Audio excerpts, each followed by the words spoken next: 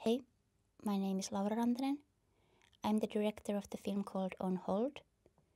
It's a short documentary about intergenerationality and socially constructed masculinity. I hope you enjoy it. Please take care, stay safe, and see you next time. Ciao.